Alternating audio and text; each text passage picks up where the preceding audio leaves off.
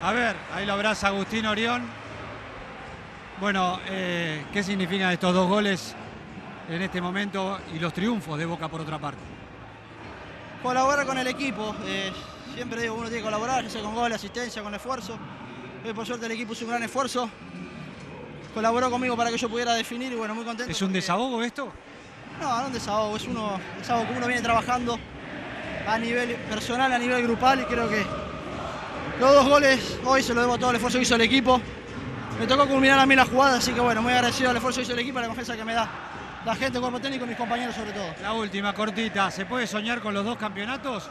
¿A esperar hoy a River? Nosotros tenemos que ganar, sin mirar qué competencia es. Hoy el campeonato local ganar, el jueves ganar y lo que después el domingo ganar. Es lo único que nos queda. Felicitaciones.